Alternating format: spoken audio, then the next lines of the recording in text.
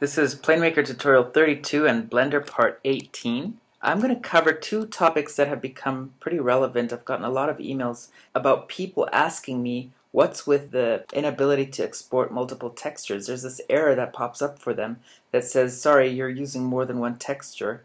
And the other thing I want to cover is how to append objects to existing files. So basically what I have here is the overhead panel of the ERJ's cockpit and it's basically a series of breakers or um, fuses. I'm going to show it in textured mode. Zoom in a little bit and you'll see here that every function in the plane has one of these breakers. But basically the rule of thumb is that you're only allowed to use one texture. Well if you look at this object it looks like I've used two textures. Not so. I've been using one texture, just let me clarify that here. 2048 by 2048 sized PNG file that was taken from a poster that was photographed behind a glass pane you can see the photographer's hand here as the glass pane reflects it. And I've been going through the process and revamping it in Photoshop to take on this appearance instead of this appearance. So what I will do in Photoshop tediously, mark all these panels out and all the screws out and create layers in Photoshop that have textured backgrounds and I try to leave all the writing, all the original white writing intact and I can do that with filters and with selections and all that stuff and the end result can look pretty photographic. Now this isn't even the final photographic look. I will add shading and stuff. I'm going to get to that in just a minute. I'm going to go to the actual cockpit file. This is only the overhead panel file. But before I continue on to that cockpit file, I just want to showcase that I can append or link any object from any other Blender file that you're currently working on. For example, the glass windshield here from this test file oh look, I got the windshield there. The problem now is that this windshield carried a texture with it that we don't know if it's the same texture that's been applied to this guy here. I can pretty much guarantee it isn't the same texture. One way to find out is to have this texture window open. It's the UV image editor. And you see that when I select any of these objects that were in the original scene and tab into edit mode, this picture will remain in the background. Whereas if I click on this new object and tab into edit mode, suddenly the picture changes. Now I know that in fact there are two textures being used. Now good luck trying to export that. The export script will say no way. So let's try that. Let's go here and go and it says the object format supports only one texture file but you've used multiple texture files. See the console for a list of files.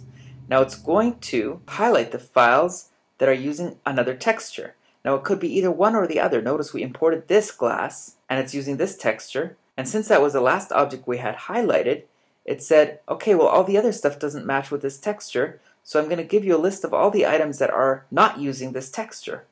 Okay, if I delete this now, then that texture remains somewhere in the purgatory of this file. I don't even know where it stays, and it adds to the confusion of what we're dealing with. So this is a bit of a frustrating part of this whole process because I can't really explain how Blender does this and I can't go in and delete all the unnecessary texture files. All I have to know is that I have to make sure that the objects in this scene only refer to one texture. Now there's a list of textures that come up after I've imported other objects and this list gets longer and longer depending on how many textures I've been using in this scene all through this process. And sometimes you can do stuff, for instance, if I now undo the deletion of the windshield, I can force this texture to be replaced by the one we're using up here so that the textures all match. So I can go here and say, well, let's use that texture that I've been using all along in this scene, and let's see if it's going to like me now. Let's see if it's going to export.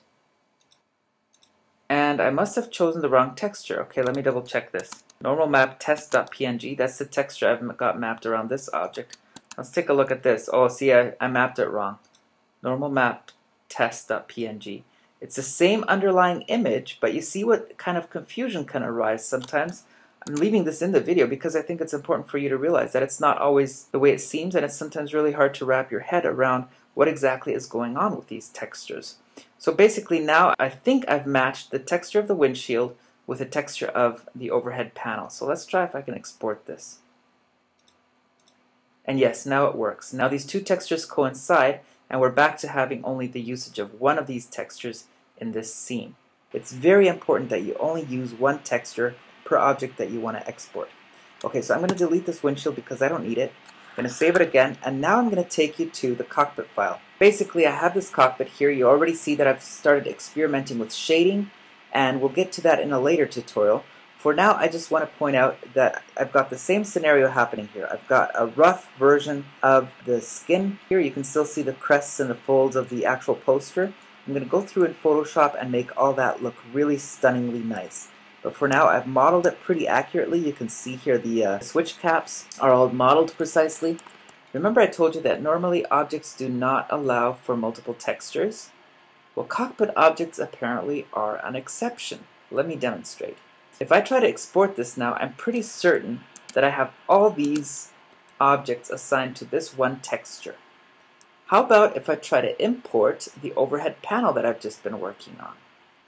I'm going to append an object from the overhead panel. Uh, I'm middle mouse clicking on it. So then I go to Object and I select All with the A command and I say Load Library. And what we'll see here now is we will see the overhead panel as it fits into the rest of the cockpit.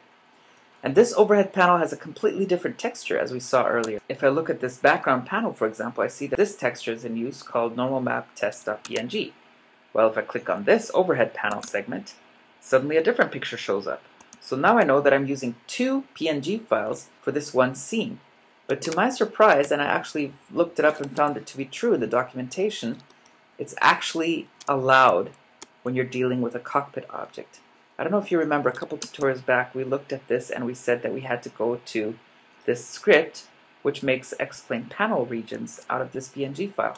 Now what that did, it reserved those objects that were mapped to the panel regions to only the instruments, I guess with the idea of maximizing the space that you can use to animate instruments and using another texture to texture the rest of the cockpit.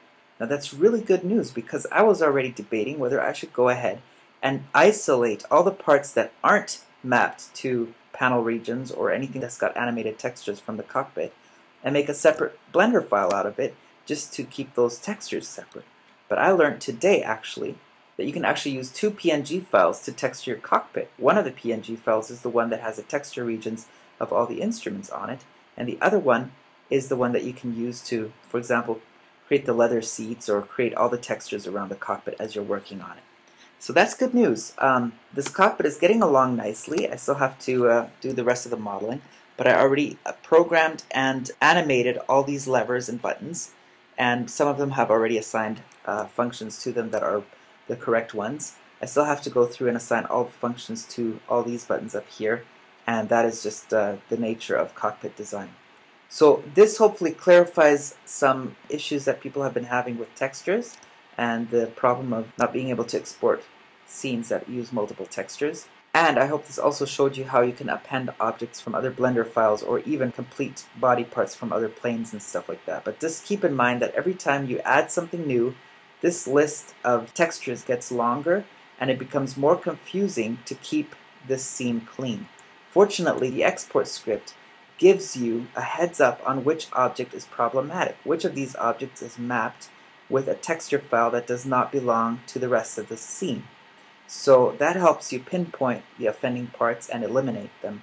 Again, remember that when you're exporting stuff, it's wise to actually export them in little chunks, work on your cockpit in the detail that you need to work on right now. Each of these instruments may take quite a bit of time to texture properly, move everything else to a layer that's not layer 1, 2, or 3, and then it's a lot faster to get yourself testing these objects in X-Plane and tweaking them as needed. So this is a part of the process. It's pretty tedious, but again, very rewarding. I will try to get more into some of these techniques of the combination of what to do with texturing and applying textures by baking and all those kinds of things. It's a it's a quite a loop back and forth between Photoshop and Blender and X-Plane and PlaneMaker. It's it's quite a crazy loop, and then having to screen capture all of that, it really puts my computer through its paces, even though it's a top of the line MacBook Pro so if you're finding yourself waiting a lot of time with export and with rendering, and if it's all choppy and stuff like that, you might want to consider an upgrade. So thanks for watching, and please sign up to my YouTube channel and spread the word about these tutorials, and rate this video and all the rest.